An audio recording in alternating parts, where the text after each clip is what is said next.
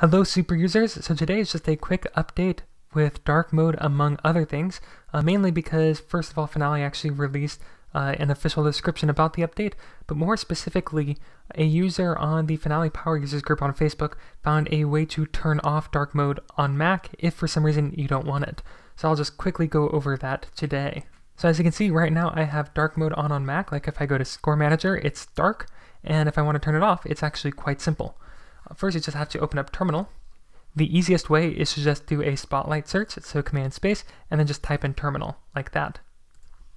Then all you have to do is just paste these two commands that he has written, which I will type in the description below. And all these are doing is it's basically writing out to your MakeMusic Finale preferences file to basically say, hey, you know that old Aqua appearance? Require it. So let's hit enter and restart Finale. And as you can see here, now we're in light mode. That's all you have to do to get light mode on Finale. And as you can see, I'm still in dark mode overall for my Mac OS system. And alternatively, if you want to turn dark mode back on, just go back to terminal again, and then instead of having a 1 at the end, just have a 0 at the end.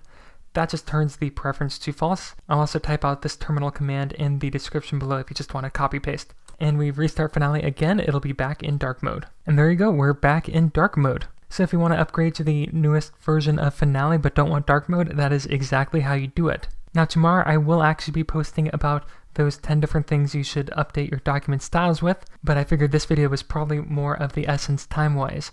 But if you found it helpful, make sure to hit the like button so I know you want more content just like this. And each week I post new videos about how to use Finale to its fullest, so if you don't want to miss out on any of those, make sure to subscribe and ring the bell so you get notified every time a new video comes out.